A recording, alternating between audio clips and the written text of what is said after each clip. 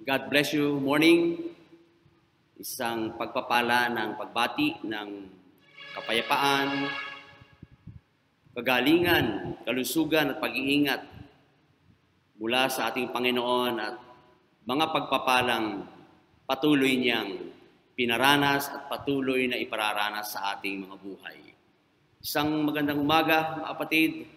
Ang akin pong pagbating ito ay patuloy na umaasam na tayong lahat ay iniingatan ng Panginoon at pinagpapala sa ating buhay at uh, patuloy ang ating kagalakan ng ating pong pagsasama-sama, pagkakaisa sa ating pagsamba at sa pagbubulay ng salita ng Panginoon. Muli mga kapatid, ang araw na ito ay kagalakan natin at pinagpapasalamat sa Panginoon na muli magkaisa tayo at bigkisin tayo ng Panginoon sa kanyang mga salita upang patuloy itong maging pagpapala sa ating buhay, kalakasan, sa panahong ito na patuloy nating kinakaharap, tayong lahat ay makasumpong ng pagpapala at kalakasan sa kanyang mga buhay na salita.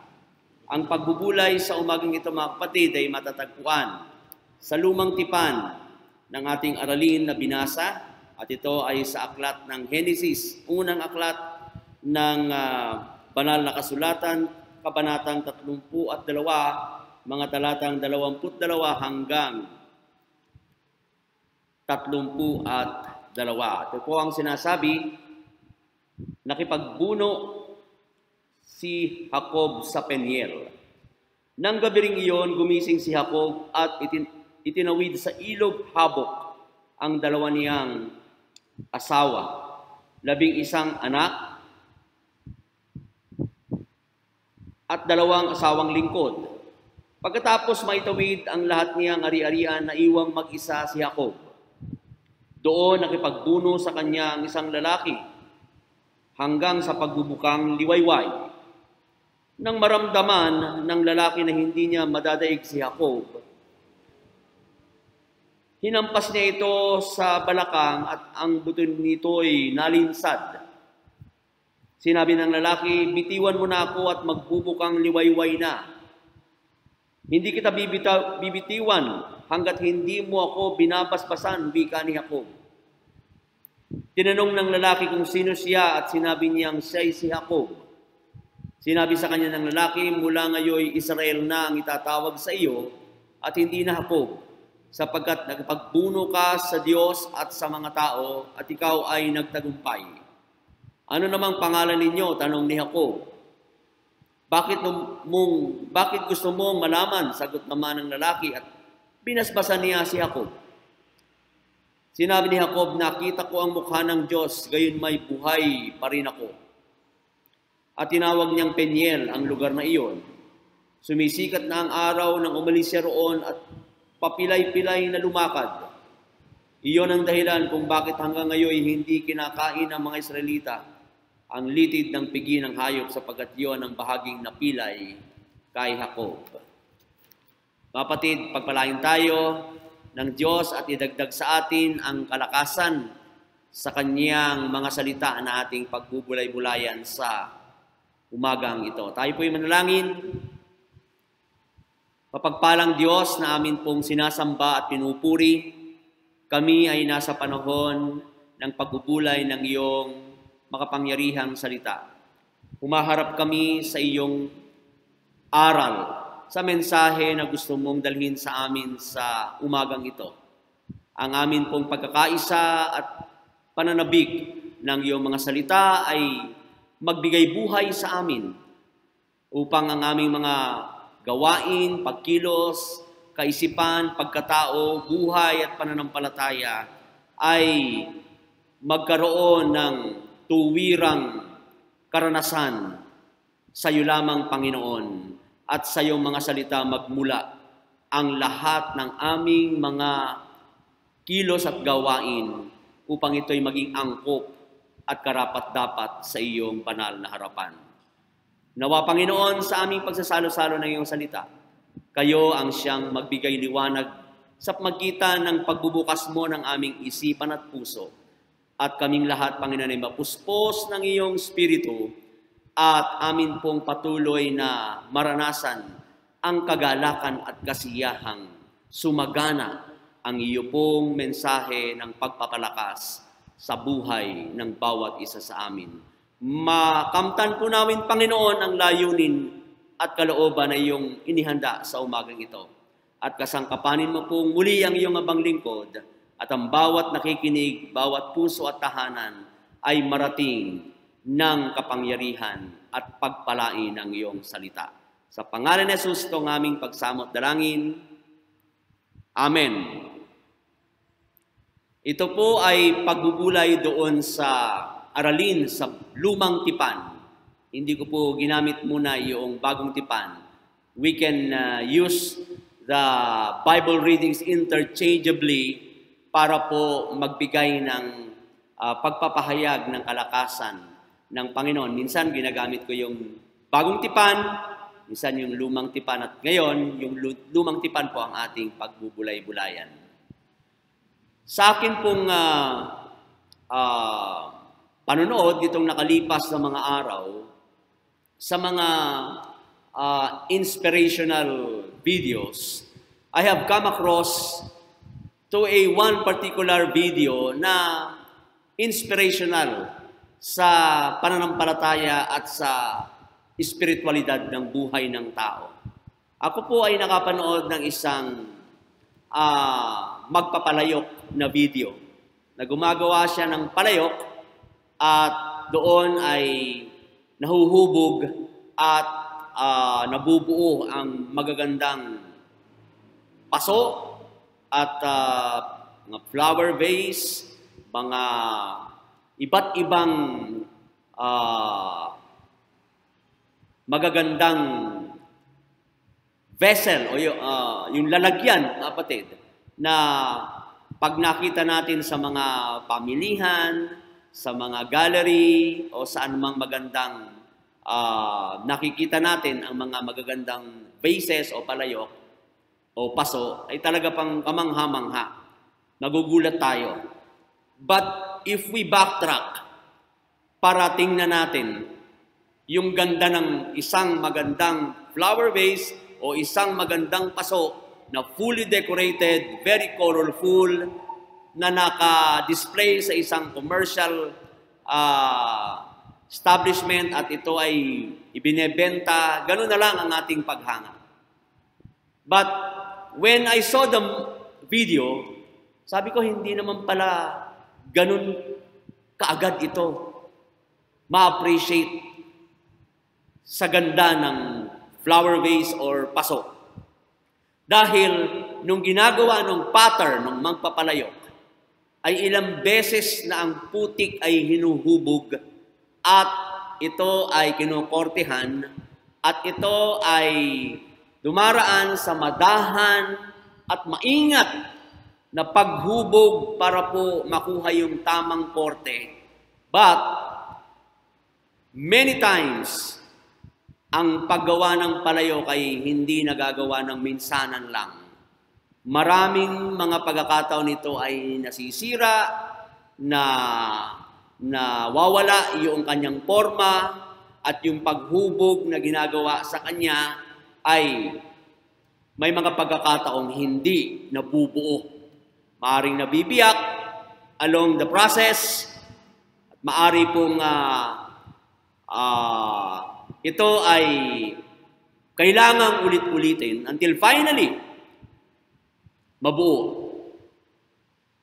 I saw the video at pinagtyagaan kong makita kung paano ito nagiging isang magandang obra. Ika nga, magandang isang artwork sa pamagitan ng paso. At yun po ay sinasabi ko lang dahil tulad ng lesson ng umagang ito, may mga pagkakataon na kailangan yung magaganda, halos buo na ng mga paso, ng mga palayo, ng mga flower base, halos gawa na pero nagkakaroon ng crack, nagkakaroon ng sira, and the potter is so patient to mold again para buuin uli ang flower vase, ang paso o anumang vessel o lalagyan na nais niyang mabuo. This morning, mga kapatid, ang titulo ng uh, uh, pagbubulay natin sa umagang ito ay pinamagatan kong subukin upang pagpalain. Subukin upang pagpalain. Kung mabasa nyo at kung marinig ito, para bang magka-kontra. Merong testing at merong blessing. Parang ganon. Na kailangan mahirap din para maging daan para maging pagpapala. Ganun po ang uh, uh, direksyon ng ating pagbubulay sa umagang ito. At ang karakter na nasa sentro ng ating pagbubulay ay walang iba, kundi ang very popular character ng Old Testament ay walang iba kundi si Jacob, si Jacob. Isa po sa mga popular itong uh, character ng Old Testament. At uh, si Jacob, mga kapatid, ayon sa kwento at sa nabasa natin na kanina, ay uh, handang makipag-reconcile uh, sa kanyang kapatid. At uh, in fact, meron na siyang paunang uh, regalo sa kanyang kapatid, ng kanyang twin brother na si Esau. At si Esau, mga kapatid, ay hinahunting niya si Jacob dahil doon sa blessing na inagaw niya mula kay Esau, inagaw to ni Jacob. At uh, ang blessing na ito ay naging uh, mitsa para sila ay hindi naging maayos sa kanilang relasyon. And there came a point na hinahunting ni Esau ang kanyang kapatid na si Jacob. Remember, yung kanyang pagkapanganay, yung birthright, ay niloko siya. Niloko siya ni Jacob at napunta yung pagkapanganay kay Jacob at siya ang tumanggap ng pagpapala. In short, mga kapatid, gusto niya na makipag-ayos sa kanyang kapatid na si Esau dahil hinahunting siya. At kung makita siya, maaring mapatay siya ng kanyang kapatid na si Esau.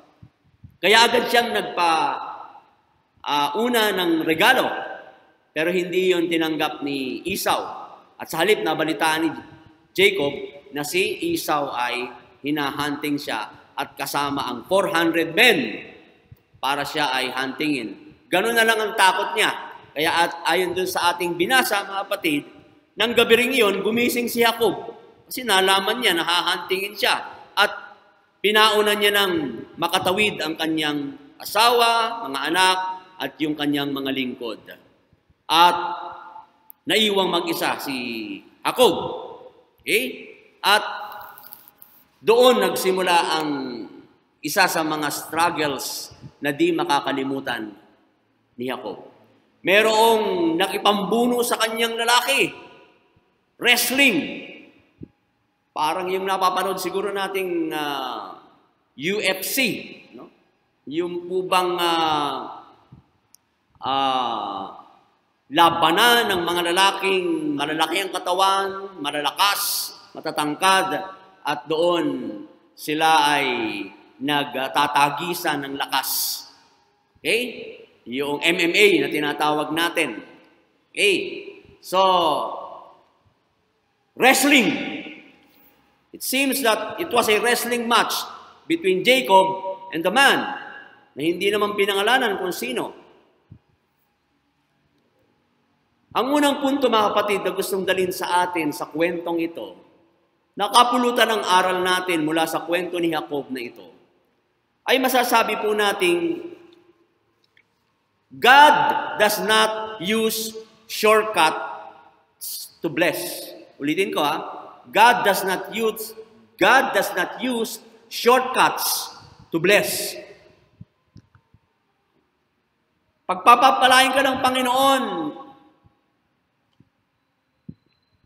ang paraan ng Diyos ay hindi agad instant blessing. Tulad ng ginawa niya kay Jacob. Hindi niya agad pinagpala si Jacob. Pero yun ang gustong gusto ni Jacob. I-bless siya ng Diyos. Pero hindi yun binigay. Ayon sa terms ni Jacob, gusto niya uh, noong uh, ibinigay niya yung regalo kay Esau para magkabati na sila. Ang kanyang paniniwala at ang gusto niya mangyari, magkabati na sila agad. Pero hindi ganoon na nangyari. Sa halip, hinahunting siya ng kanyang kapatid. So, walang effect yung kanyang regalo na pauna para makipagkasundo. Hindi tinanggap ni Esau yung uh, uh, regalo na pakikipagkasundo. At dahil po doon, nakita natin na mula pa lang doon, gumagawa na ang Diyos eh. Kung talagang ang Diyos ay pagpalain si Jacob, di immediately, nung ibinigay ni Jacob yung mga regalo niya, yung kanyang pakikipagkasundo, di tapos na. Pinalambot niya na yung puso ni Esau at nagkasundo na yung magkapatid. Pero hindi yun na nangyari. Eh? Gusto ni Jacob ay yung mga instant, yung talagang blessing agad. Yung di na siya dadaan sa hirap o struggle. Eh? At sa kanyang paniniwala, eh, ito naman ang na-enjoy niya sa buhay. Remember yung pagkapanganay, very quickly, agad-agad, yung blessing na yun, nakuha niya. Bakit? Nanloko kasi siya. Niloko niya yung kanyang kapatid na si Esau. Ganun ang buhay ni Jacob. Gusto niya ng instant blessing. Ayaw niya nang dumaan sa anumang proseso o sa anumang mga uh, mga procedure. Gusto niya biyaya agad. Okay? At yun, mga kapatid, nakikita ba natin na yung ating sarili ay parang nasa larawan ni Jacob? Are we in the same page with Jacob? Mahilig rin ba tayo dun sa mga shortcuts? Yung bang uh, mabilisan, madalian, quickie and blessing na agad, darating na? Pero nalilimutan natin na mayroong paraan ng Diyos. At kanyang paraan ay sinasabi nga natin dito sa ating lesson na number one na gusto nating dalhin. God does not use shortcuts to bless. Hindi hindi katangian ng Diyos ang magpala agad, nang magpala agad sa buhay ng sinuman, kahit mananampalataya, wala hong shortcuts pagdating sa biyaya. Yun ang gustong ituro kay Jacob, yun ang gustong ituro sa akin. Kaya,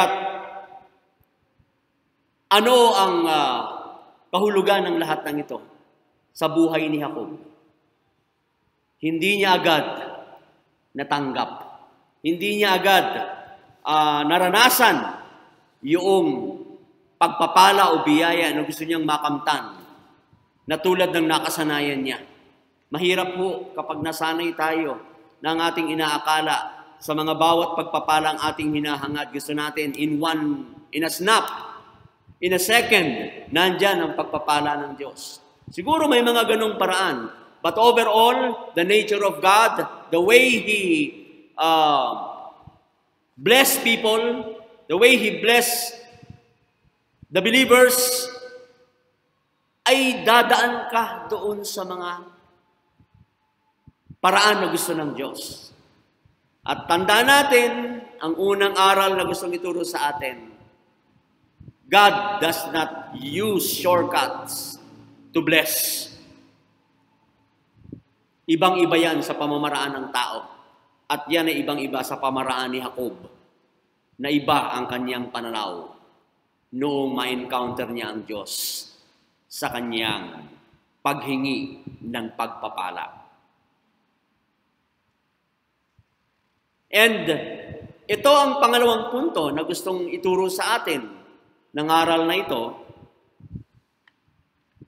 Ang biyaya at ang pagpapala ng Diyos ay darating sa atin sa moment ng ating pagsubok. God blesses you and me when we cling to Him in our brokenness. Makuha niyo yung mga kapatid? Ito nangyayari kay Jacob. Ang biyaya at pagpapala ng Diyos ay uh, nangyayari at nararanasan ng sino man sa atin kung ma-recognize natin na dumadaan tayo sa testing, sa pagsubok. Sabi nga, we will not cling to the Lord until we are broken. Hindi ka tatawag, hindi ka magtitiwala, at hindi ka hahawak sa Panginoon hanggang sa ikaw ay lubusang wasak o drog sa iyong sariling uh, buhay. Diba? Yung brokenness dito ang pinag-uusapan natin mga kapatid. Until you are broken, hindi mo mararanasan ang nakahandang pagpapala ng Diyos. Kaya yun ang tinuturo. Ano ibig sabihin ba ng broken? At yung sinasabi nating uh, pagpapala at biyaya ng Diyos. Merong realization mga kapatid na itinuturo sa atin na hindi ka aasa sa sarili mo. Yun lamang ang pinupunto noon. Si Jacob, All his life, umasa siya sa kanyang sarili. Sa mga pagpapala na sarili niya lang, diskarte, sa paraan niya. Kaya kapag nakaisip siya, even yung panloloko, gagawin niya para lamang makamtan yung pagpapala at yung biyaya na inaasam niya. Yeah, there were times nagtagumpay siya. Pero not this time. Dahil dito mayroong nais ituro sa kanya ang Diyos. Dito sa engkwentrong ito, dito sa wrestling match na ito na kanyang naranasan.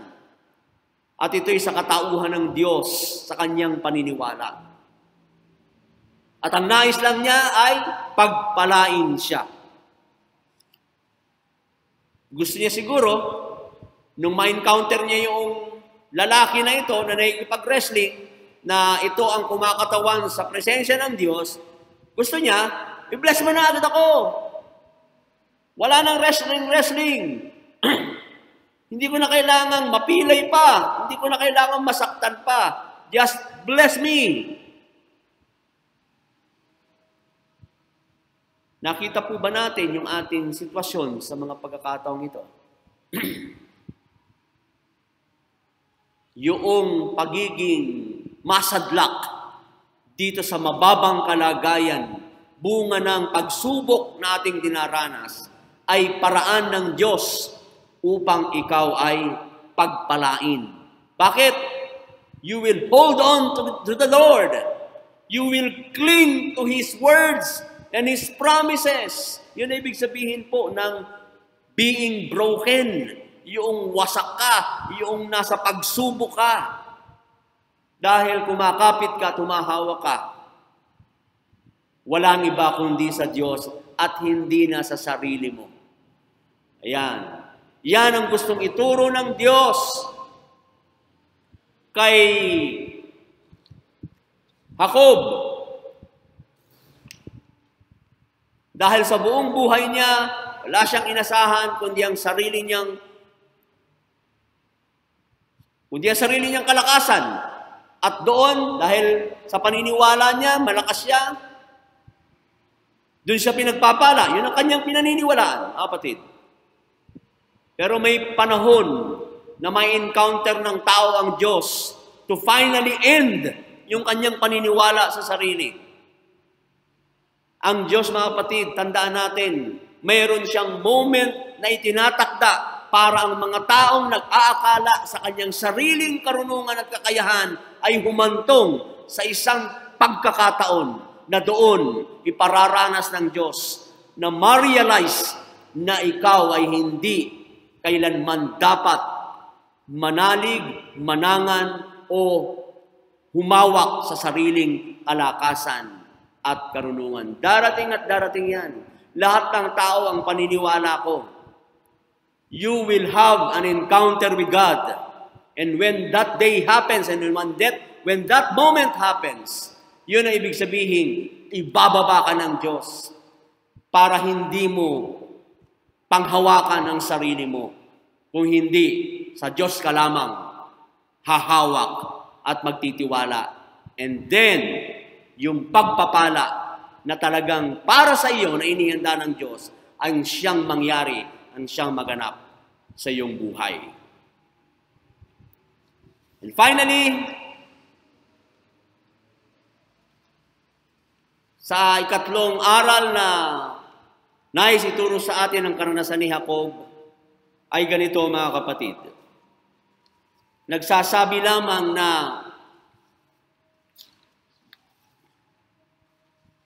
God breaks us to make us whole. Kailangan mawasak tayo o wasakin tayo para tayo'y muling mabuo. Ang Diyos ang gumagawa niyan. God breaks us to make us whole. Yan ang ginawa ng Diyos kay Jacob.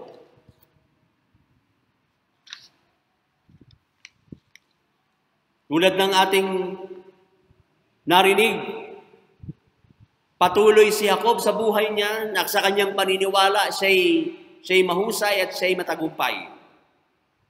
At ginamit niya ang lahat ng kanyang karunungan para manlamang at mandaya. Para yung pagpapala ay kanyang makamtan. Pero sa mata ng Diyos, walang kabuluhan lahat ng na-achieve. Walang kabuluhan yan, yung na-achieve ni Jacob. Na sa paniniwala niya, siya ay pinagpala, siya ay matagumpay, siya ay mahusay. Sa kanya lang sarili yon, pero sa mata ng Diyos, walang kabuluhan ang lahat ng iyon. Hanggang sa dumating ang araw at ang oras na nagkaroon sila ng encounter, ng enkwentro nitong wrestling match na ito.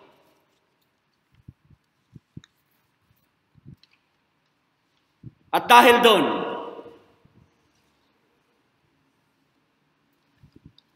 yon ang naging breaking point ni Jacob.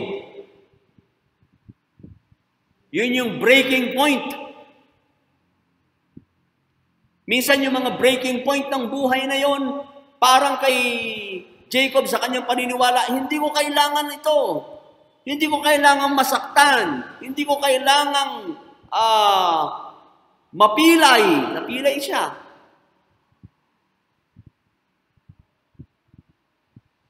But that's how God starts His blessing by breaking Jacob. At yun po ang naunawaan ko sa sarili natin at sa mga mananampalataya, tayong lahat. Kailangan ma-realize natin yung pagsubok na ito, yung pagwasak sa atin, yung breaking point ng ating buhay na minsan ito ang ayaw natin at ito ang atin pong kinatalikuran.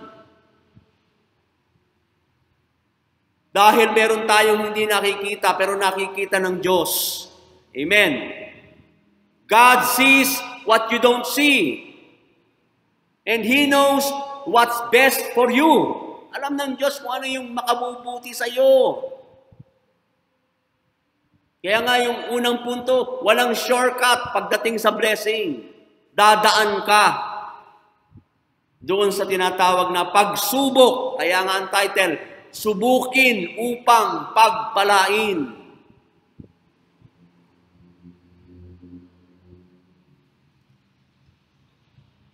You have to make a choice. Tayo, You cannot change it. Ang Diyos ay inihanda niya na ang daan para tayo'y pagpalain bilang kanyang mga anak. Hindi mo na pwedeng baguhin yun. Meron ka lamang pagpipilian. Handa ka ba na daanan yung mahirap at tayo ay pagpalain? O ang gusto mo lamang ay kasarapan at mga komportabling karanasan at ang dulo nun ano? Nothing. Pagkabigo pa nga ang hangganan nun. Tulad ni Jacob. Jacob suffered loss because he attempted the more comfortable, comfortable way.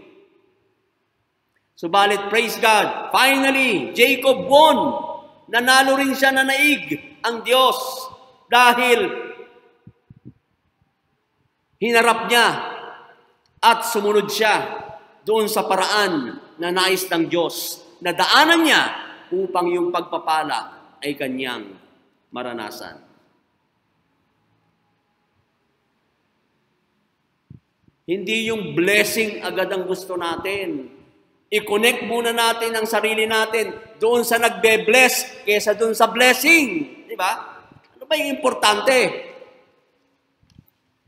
Yung biyaya o yung source? Yung nagbe-bless, yun po ang unahin natin kesa doon sa blessing na dadating sa atin. Minsan, baliktad. Mas hinahangad ng tao yung biyaya, pero yung giver of the blessing, hindi masyadong pinahahalagahan. Ha? Kahit nga sa pagpapasalamat eh, di ba, minsan? Naibigay na lahat sa iyo, naubos mo na, na-enjoy mo na, pero never mong naisip na manalangin para magpasalamat kung ano mang biyaya ang tinanggap mo. Diba? Yun po ang malungkot doon. Dahil yun pong uh, biyaya ang mas mahalaga at yung pong nagbibigay ng biyaya ay tila nakalimutan na. Iyan ang mga bagay na itinuturo sa atin ng Diyos. Hanapin natin ang Diyos sa panahon na tayo ay wasak o broken. At doon sa mga aral na ating narinig mga kapatid, tayong lahat ay makasumpong ng kalakasan. Alam niyo po yung blessing ni Jacob, hindi lamang blessing ng kasaganaan ang dumating sa kanya. Ang blessing sa kanya mga kapatid ay yung bago niyang pangalan, yung bago niyang identity, yung bago niyang relasyon sa Diyos. Dahil kung may greatest blessing man sa buhay ni Jacob, alin, nawala na yung kanyang pangit na pagkatao, lamantaraya. Napalta na from Jacob to Israel. At ang Israel ay nangangahulugan, ang Diyos ang tagapag-ingat. And from then on, mga kapatid, siya man ay napilay, siya man ay dumaan sa pagsubok, siya man ay nakipagbuno, nakipag-wrestling, but the turnout of his experience is far greater. Mga kapatid, kesa dun sa mga personal niyang pagtatagumpay. At ito ang matutunan natin sa buhay natin, mga kapatid. Ang Diyos, dadaan tayo sa paraan niya at ang paraan niyang nagiging pamantayan niya is for us to be broken before we are going to be blessed. Amen? Yun ang sinasabi mga kapatid, subukin upang pagpalain. At dahil po dito mga kapatid, we are all broken to be blessed. Kaya tulad ng karanasan ni Jacob, kung meron man isang broken experience tayo, here we are. We are still in this COVID-19 and pandemic. And maybe ang iba sa atin nagkakaroon din ng mga brokenness because of different family problems, struggles. trabaho, finances, lahat. Health. Ito po yung mga lowest point ng ating mga buhay. And we all agree mga kapatid dun sa message this morning. Ito ay paraan ng Diyos upang tayo ay pagpalain. Dumadaan tayong lahat sa mga struggle, sa pain. Tulad ni Jacob, yung inaakala niyang blessing agad, hindi yun. We have, Jacob had to go through the process. Broken to be blessed. Ano Subukin upang pagpalain. Kaya mga kapatid, ano man ang pinagdaraanan natin ngayon, naniniwala ako na iyon ang paraan din ng Diyos upang tayo'y patatagin, palakasin, at pagpalain sa ating buhay. Sa mga salitang ito, mga kapatid, tayo po ay makasumpong ng kanyang pagpapalakas at ng kanyang biyaya. Masa ako mga kapatid na sa mga pagpapala ng Diyos na ating patuloy na naririnig, lalo namang nakikita natin ang hiwaga at kapangyarihan ng pagkilos ng Diyos sa ating mga buhay. Hanggang sa muli mga kapatid, patuloy nawa tayong makasumpong ng bagong pangalan, ng bagong uh, relasyon, ng bagong karanasan ng pagpapala tulad ng naranasan ni Jacob. God bless you morning. This is the message of the Lord this morning. In the name of the Father, and of the Son, and of the Holy Spirit. Amen. Tawag sa pagkakaloob. Gawa chapter 20 verse 35. Alalahaning ang salita ng Panginoong Hesus. Higit na mapalad ang nagbibigay kaysa tumatanggap.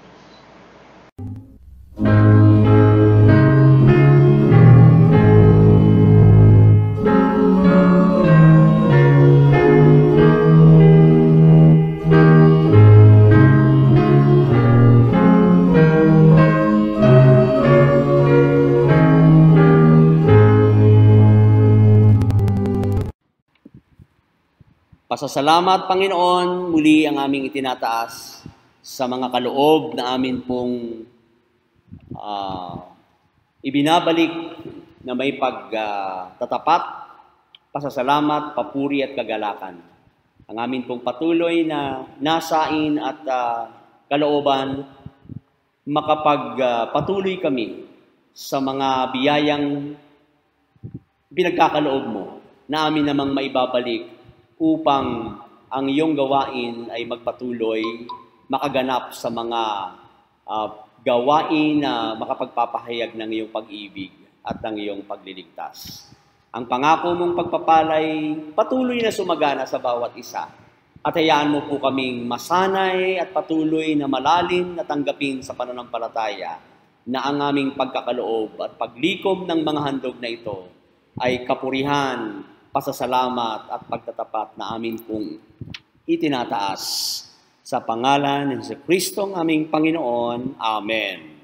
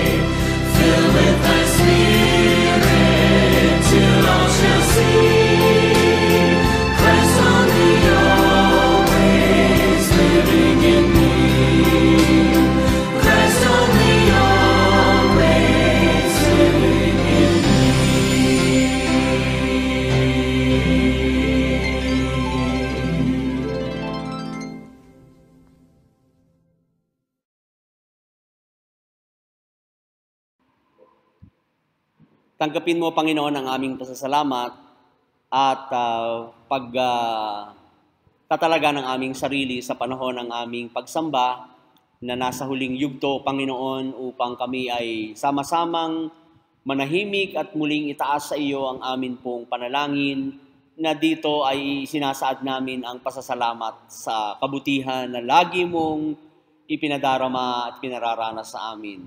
Yes, Lord, napakabuti ng magpasalamat sapagkat ito ay karanasan ng amin pong pagkilala na mayroong Diyos na patuloy na gumagawa, nagkakaloob, nagbibigay ng mga biyayang hindi namin kayang makamit kung sa aming sarili lamang. Lord, sa lahat ng blessings na aming tinanas at naramdaman sa nakalipas na mga araw na ito, marami pong salamat sa pagpapagaling ng may karamdaman, sino man sa amin, Lord. Thank you so much. Gayon din po ang patuloy pong uh, pagbibigay sa amin ng pag-iingat upang kami ay hindi mapahamak, lalo na po ng uh, patuloy na kumakalat na sakit na ito ng COVID-19. Marami pong salamat sa pag-iingat ng buong sambahayan na kami po ay hindi nalalagay sa kapahamakan. Maraming salamat sa mga biyayang sapat, Panginoon, na dumarating na nagiging dahilan upang mapatunayan naming hindi mo pinagkukulang kami sa aming mga kakailanganin sa bawat araw. Salamat po dahil ng ang aming mga pangambay laging napapalitan ng pag-asa, napapawi at uh, ang nangingibabaw Panginoon ay may Diyos na laging nangangakong magkakaloob at tutugon lalo't sa panahon ng aming mga pangailangan. Panginoon, salamat din sapagkat nananatili sa amin ang ang pananampalataya dahil may mga gawaing nagagawa naming magpag, makipag-ugnayan sa iyo sa pagsambang ito ng online, sa aming prayer date, sa amin pong kumustahan, sa amin pong panalanginan, Panginoong Diyos, sa iba't ibang gawaing nagagawa rin ng aming mga kapatid sa kanilang mga organization, sa kanilang mga uh, itinakda na pamamaraan para po mag, maglingkod sa iyo at uh, maipahayag ang uh, papuri sa iyo sa, sa anumang uh, kaparaanan na maari naming magawa. Kami po ay nagpapasalamat dahil hindi nauubos ang, ang ways and means that we can thank you and we can uh, worship you and we can serve you, Lord, kahit po sa ganito pong kondisyon ng aming pamumuhay. Kaya Panginoong Diyos, salamat dahil kayo ang pinagmumula ng karunungan kaya't nakakaisip kami ng mga kaparaanan ng amin pong pagpapahayag ng aming pananampalataya at pagsunod sa iyo. Marami pong salamat dahil hindi lang kami, kundi ang aming mga mahal sa buhay ay natityak naming nasa iyong pag-iingat din, nasa iyong pagpapala. Maraming salamat, Panginoon, dahil Kami rin ay pinag-uugnay-ugnay para tumatag ang aming relasyon sa bawat isa.